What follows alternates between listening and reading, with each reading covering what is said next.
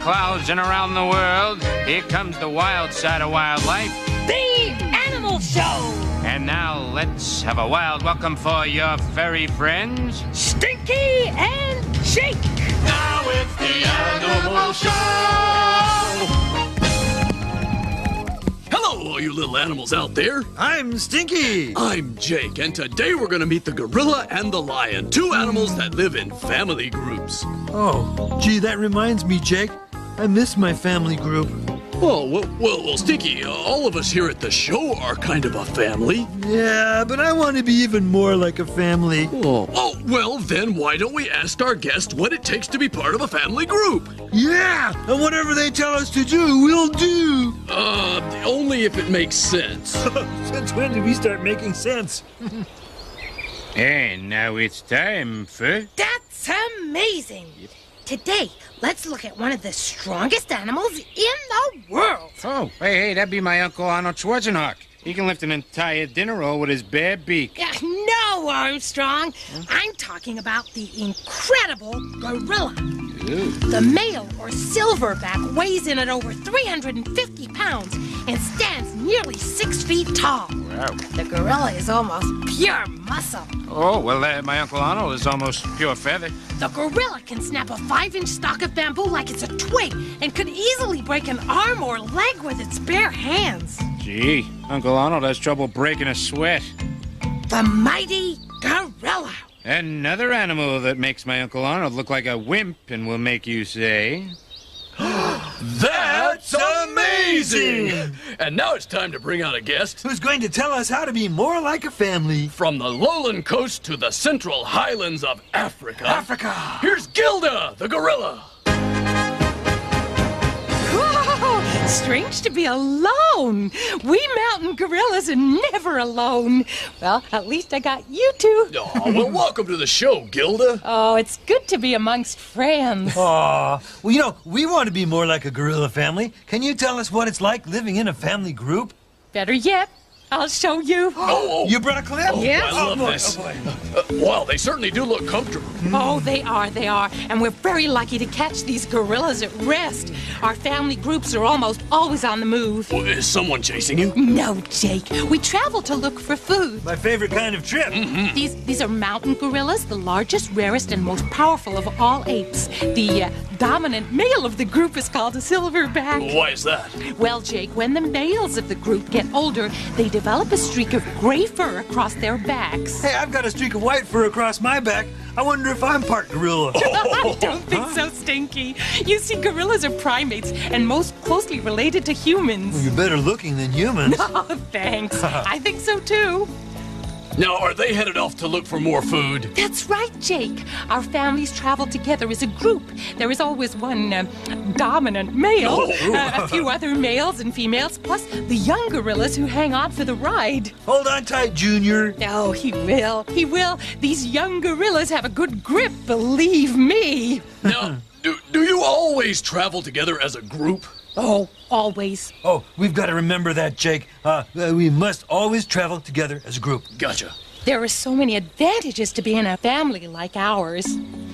First of all, these forests can be filled with danger. It's not so bad for adult gorillas, but we must always be on the lookout for animals that might hurt our young. So, living in a group helps you protect the smaller members of the family. Uh-huh. Yeah, little guys like me. Right, and we're also very social animals. We enjoy the company of other gorillas when we go looking for the very best places to eat. What do you eat? Or who do you eat? Gorillas are so big, you guys could probably munch a leopard for lunch. Oh, actually, Stinky, we mostly eat leaves, shoots, and stems like this gorilla is doing. You, you are such a large animal, if you don't mind me saying that. Oh, it's a compliment. You, you must eat a lot of leaves. Yes, we do. We eat almost around the clock, taking off just an hour or two to rest and digest our food. Hey, that's my eating schedule, too. We're also very picky eaters. Gorillas don't like to eat the rough outer skins of plants. We rip that away like this gorilla is doing and eat the juicy middle. Well, it looks delicious. Oh, it is. And the juice of these plants is very important to us. Gorillas drink very little water. So this juice must give us all the moisture our bodies need. Yum, uh. yum. The jungle is your salad bar. Oh, that it is, Stinky. Now, Gilda, you mentioned there's a dominant male in your group. What does that mean? Jake, that's the gorilla who gets the most fan mail. Not quite, Stinky. The dominant male is the leader of our group. Does he have to run for election? Oh, no. The leader is always the strongest male gorilla, like this fella here. Hmm. It's his responsibility to protect the other gorillas in the group and decide where we should go to get food. Hey, Jake, if you want to protect us, I'll decide where to eat. Sounds good to me. In time, one of these younger gorillas will take over this group. Oh, cute. This young gorilla here is practicing his chest pounding. That's called a threat display. Why is it called that? Because a gorilla usually pounds its chest to scare off other animals or to warn gorillas from other families that they've wandered into our territory. Living in a family group sure sounds great. yeah, except for all those mosquitoes. Oh, Stinky, it's all part of jungle life. Well, thank you, Gilda, for telling us so much about living in family groups. Hmm. Happy to help. Now I'm going back to my family. Oh. Bye. Oh. Bye bye. Bye. Boy, Jake, my favorite part of family groups is kids. Oh, me too, because without kids, we wouldn't be able to have baby talk. How can you guys just lie around doing nothing all day? Then I won't do nothing. I'll play with you if oh. that's what you want. And I'll play too. Oh. I'll bite your, I'll bite your, your, your, your, your tail. I don't want you to bite my tail because I'm going to bite. Come on, Dad. Don't you want to play? Come on, it'll be fun. Get in touch with your inner cub. Uh, I think you better get in touch with your mother. Uh, What? dear, dear, a little uh, help here. yes, uh, off you go. Come play with me, sweetie, and let Daddy rest. Okay, Mum, what do you want to play since Dad doesn't want to play? Anything you want to... Look, I'll play with you later. Hmm? Right? You know, dear, I really am getting a little tired of this. Ow! No, you can't be tired. The day's young, and all the experts say it's good to play with your cubs.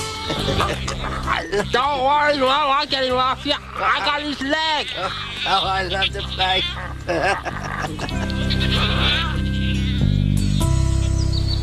So, Jake, we're going to live as a big family group with everybody together all the time. Hey, everybody, come on over. Come Okay, on. okay, but I want to know more about parents and babies. Where would we find out something like that? Right here.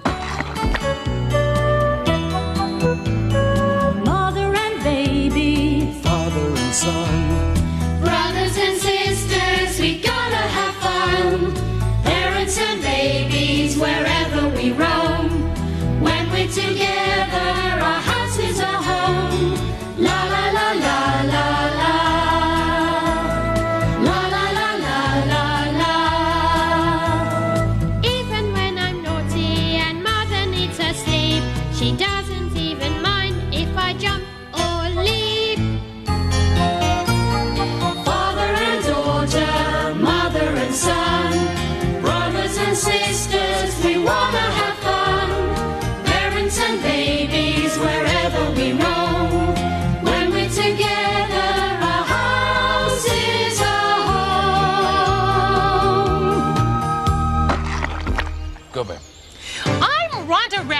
reporter, giving you answers to today's tough questions.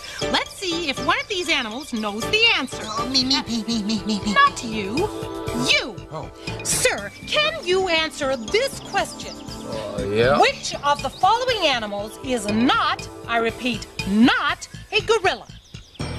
This one, this one, this one, or this one? Your answer. Well, uh, as a sloth, I'd Uh-huh. have to say the animal who is not a gorilla is the last one. And I would have to say, you are wrong! Because the animal that is not a gorilla is the sloth.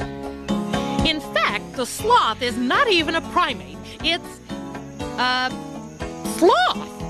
Sloths are in the same group of animals as anteaters and armadillos. Sloths live in the tropical forests of South and Central America. As you may have noticed, they move very slowly. And they are vegetarians, which is a good thing because they don't have to run to catch their food. Sloths sleep for most of the day and descend to the ground only about once a week to urinate and defecate. A sloth's camouflage is so efficient that it is almost invisible to predators like the jaguar and the eagle. This is Rhonda Rat reporting on the sloth. Now back to you, Stinky and Jake. It's time to bring out our second guest from Central Africa. Africa! Uh, here is Malcolm the lion. Oh, I smell tacos. Hey, are there tacos over here? Whoa! Uh, no, no, I'm afraid not, Malcolm, but welcome to the show. Oh, gee, I I must remember to get some of those before I leave. Yeah, well, I wouldn't count on getting any tacos. We're one hungry family here. Yeah, well, I know what that's like. Where I live, everyone seems to be hungry all the time. Oh, oh, Yeah, I can show you if you want. Oh, want. you brought tape? Yeah. Oh, wow. Now, here's a lion looking out over the horizon, hoping to find something to eat. Not a taco in sight. Oh, well, actually, we lions prefer to eat wildebeest and zebra. Now, why do some lions have long hair and some don't? Ugh. Well, uh, that hair is called a mane. Well, only male lions have a mane. The female lion or lioness look more like other cats. Now, male lions like this fellow are also much bigger than the females. Is that male lion going out to hunt? Oh, probably not, Jake. Uh, in a pride of lions, the female does almost all the work, and the male does, uh, well, most of the sleeping. Oh, good deal. Hey, what's a pride of lions? Oh, uh, Pride of Lions is what uh, lions call our family group. Each pride has around 30 lions in it. Looks like those lions just found dinner. Yeah, yeah, yeah, a herd of zebras. Yeah, catching some of these would make a perfect meal for this lioness and her pride. Now, wh- what's she doing? Oh, well, she's stalking. Uh, she moves in a very slowly hiding herself in the tall grass until she's close enough to strike. But as soon as the zebra sees her, it warns the rest of the herd.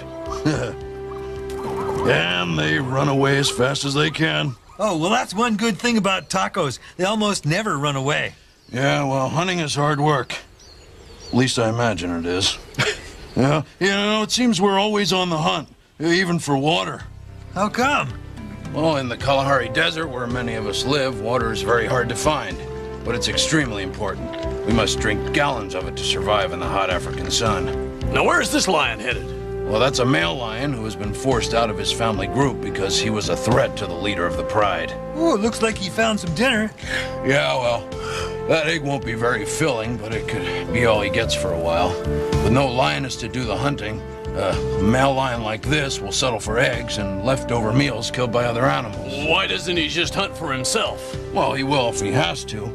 But a male lion is just not as good at hunting as a lioness, so, you know, why bother? yeah, yeah. Well, uh, what makes a lioness a better hunter? Hmm, uh, well, lionesses are smaller and faster than male lions, and that makes them better hunters. Well, let's watch some lionesses in action, huh? Now, good hunting is all about strategy. You can't just run after your prey, you need to plan the attack. Well, what is this lioness doing? Well, she and the three friends have found this herd of wildebeest who are grazing. An animal that's eating or drinking is always easier to sneak up on. You just have to be patient and make sure they don't see you. Now, these three lionesses will get as close as they can, then hide.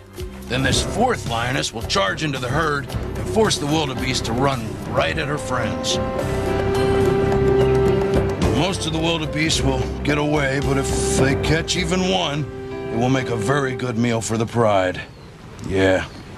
Well, thank you, Malcolm, for telling us what it's like to live in a pride of lions. Yeah, sounds like it's real easy for you male lions and a lot of work for the lionesses. Mm, well, lionesses are better hunters, but uh, I'm a better singer. Oh, would you sing us a song? Well, uh, only if you and your family group sings with me. Well, they're right over there. I'd love to. Let's go.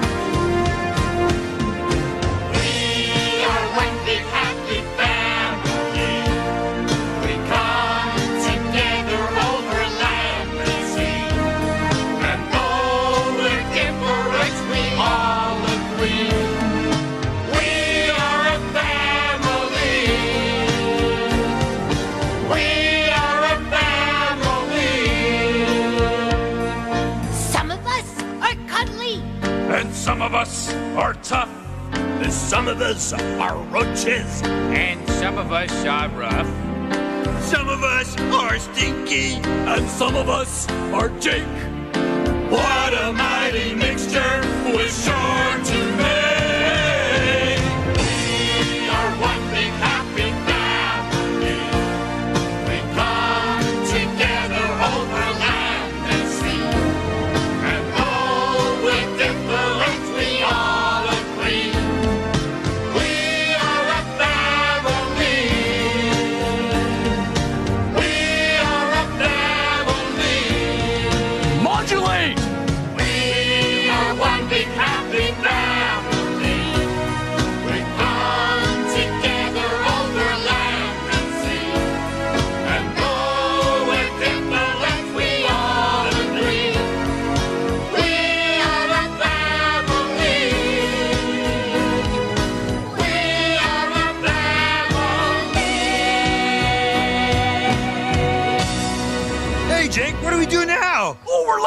Animal Awards. Oh, oh, oh, oh. the- Come on, come on, let's go, let's go. Oh, let's yeah, go, hurry, come on. hurry, And now it's time for Animal Awards. Oh, my aching ears. Today we find out which of these animals is the fiercest.